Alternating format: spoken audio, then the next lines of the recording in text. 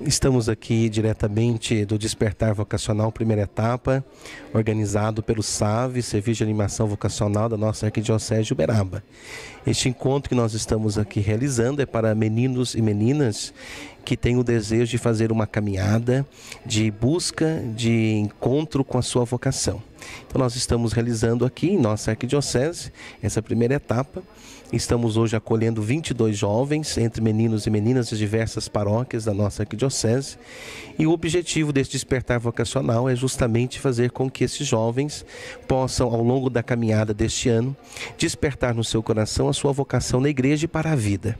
Então estamos aí nesta alegria do ano vocacional trazendo então mais uma vez para nossa arquidiocese este caminho de esperança. Estamos cheios de alegria, porque além de ter esses jovens, com certeza teremos muitas vocações para a nossa igreja particular de Uberaba.